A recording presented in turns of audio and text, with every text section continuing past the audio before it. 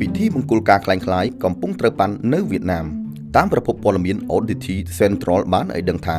របស់រកលុយខាងរៀបចំពិធីមង្គលការคล้ายៗកំពុងតែត្រូវបាននៅប្រទេសវៀតណាមដោយសារតែមានការកើនឡើងនៅស្ត្រីដែលមានផ្ទៃពោះមុនពេលរៀបការពួកគេសម្រេចចិត្តប្រើប្រាស់សេវាកម្មនេះក៏ដោយសារតែមិនចង់ធ្វើការរំលូតកូនហើយកុំឲ្យខ្មាស់សាច់ញាតិ អត្រារំលូតកូននៅក្នុងផ្ទៃរបស់ប្រទេសវៀតណាមគឺស្ថិតនៅក្នុងលំដាប់ទី5នៅលើពិភពលោកហើយទី1នៅអាស៊ីស្ត្រីជាច្រើនអ្នកនៅទីនោះបានរួមភេទហើយមានផ្ទៃពោះមុនពេលរៀបការដែលភាគច្រើនត្រូវបានខាងប្រុសរត់ចោលថែមទៀតដោយសារតែហេតុនេះទើបពួកគេសម្រេចចិត្តទៅធ្វើការរំលូតកូនសេវាកម្មនេះមិនសូវជាត្រូវបានស្ត្រីវៀតណាមនិយាយប្រាប់ពីមាត់មួយទៅមាត់មួយនោះទេតែវាត្រូវបានគេប្រើប្រាស់ជាយូរណាស់មកហើយ។ តម្លៃរបស់វាក៏មិនធម្មតាដែរព្រោះគេត្រូវជួលមនុស្សមកធ្វើជាកូនកំឡោះភ្ញៀវខ្លាំងៗនិងរៀបចំពិធីឲ្យមានភាពសមរម្យអ្វីៗទាំងអស់សុទ្ធតែអាចធ្វើឡើងបានដោយការប្រើប្រាស់សេវាកម្មនេះគូបញ្ជាក់ផងដែរថារបស់រៀបចំពិធីមង្គលការខ្លាំងៗនេះអាចរកបានម្ដងរាប់លានដងហើយអាស្រ័យទៅលើកញ្ចប់ដែលអតិថិជនចង់ទិញមានអ្នកខ្លះសុខចិត្តចាស់លុយជាច្រើនឲ្យតែបានមនុស្សមកធ្វើជាកូនកំឡោះ